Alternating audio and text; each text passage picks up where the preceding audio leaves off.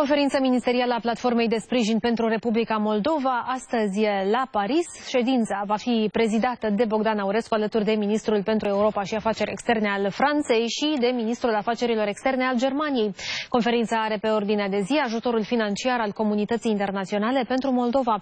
De asemenea, se va discuta și sprijinul reformelor necesare pentru aderarea la Uniunea Europeană a Republicii Moldova. La întâlnire vor participa și Emmanuel Macron și președinta Moldovei, Maia pasando.